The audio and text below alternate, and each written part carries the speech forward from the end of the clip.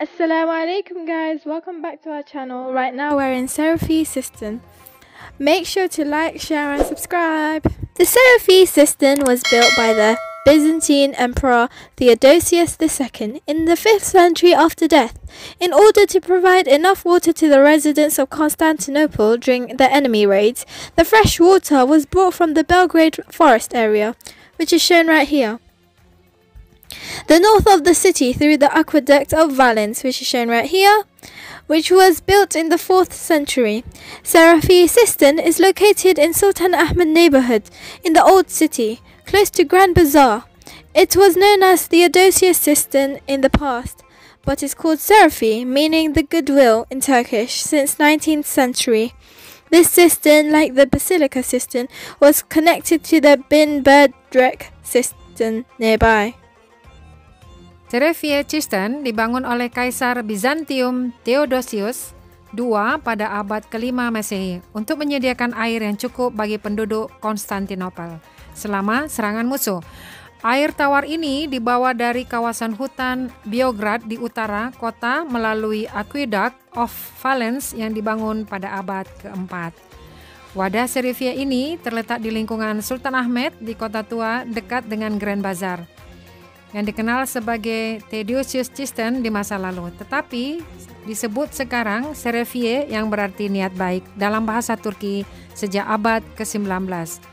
Wadah ini seperti tadah basilika yang berhubung ke wadah bin Binbir direct di dekat. The 1,600-year-old cistern known as Serefiye Sarniki in Turkish is an important example of the complex infrastructure developed by the Byzantines and protected under enhanced under the reign of the Ottoman Empire.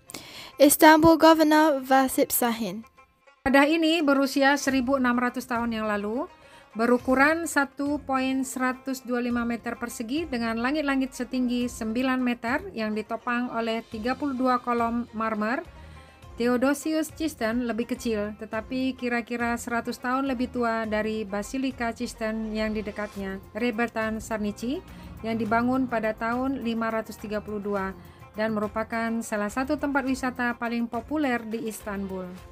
The Theodosius Cistern, also known as the Serefiye Cistern, is located at Pierre Kadesi 23 in the Fatih district. It is open daily from 10 a.m. to 7 p.m. and hosts periodic art exhibitions and other events. Entrance fee for Theodosius Cistern is 20 Turkish lira as of 2020. Children under the age of 7 is free of charge. Interior is elevator accessible. Water flew, flowed through clay pipes laid within the tunnel. The most famous aqueduct builders of ancient times were the Romans. The word aqueduct comes from the Latin word aqua, meaning water. Roman engineers built the main portions of their aqueducts at ground level or underground where possible. They constructed aqueducts and piping systems that allowed water to flow across the mountains, through gorges, and to, into the temples, homes, and gardens of citizens.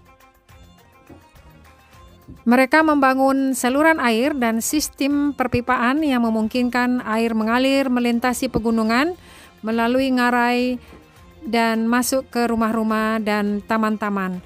Air mengalir melalui pipa tanah liat yang diletakkan di dalam terowongan. Pembangunan saluran air yang paling terkenal pada zaman kuno adalah Romawi.